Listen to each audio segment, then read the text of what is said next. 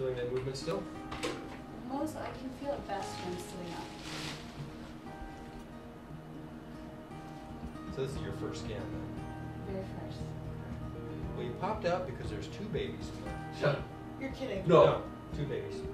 I, I looked at What? your belly. Yeah, two babies. Two babies. What? Two babies. At least two babies. Let me like make sure there's just two. But they've only heard one heartbeat. What? There's two babies. There's one right there. Hello. See the baby laying on its back? Here's the forehead. That's why you poked out so quick. I looked at your belly. Look, you can see his heartbeat. Oh yeah, you sure can. You can. see his heartbeat. See that little heartbeat right there? So he's looking good, right? Yeah, see the little nose? See How, that? how is he? Healthy?